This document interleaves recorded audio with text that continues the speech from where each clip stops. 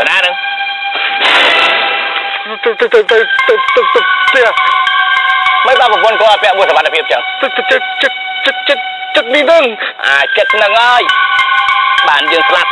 ហើយអ្នកវិញមិនស្រឡាញ់គ្រួសារខ្លួនទេអី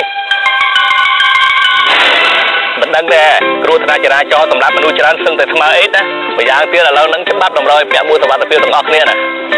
ការពារជីវិតអ្នករួមដំណើរតាមម៉ូតូត្រូវតែឲ្យពួកគេពាក់មួកសុវត្ថិភាពចាប់ពីថ្ងៃទី1ខែមករាឆ្នាំ2016នគរបាលចរាចរណ៍នឹងធ្វើការពិន័យ15000រៀលចំពោះជនណាដែលមិនពាក់មួកសុវត្ថិភាព